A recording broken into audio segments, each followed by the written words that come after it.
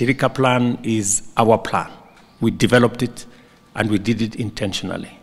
And we did it because we have been host to refugees for many years. And many of them have grown up in our country. They've been born here. They don't know any other home. Kenya is their home.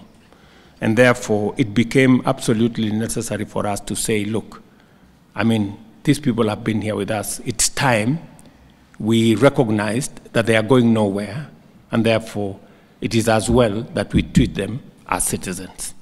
You know, whether it is school, whether it's the ability for them to do business, whether the ability for them to work, whether it is uh, what, you know, because instead of them being a burden to us, we should find a way of making them a resource, you know, and using their talent, their knowledge, their education for the benefit of the country.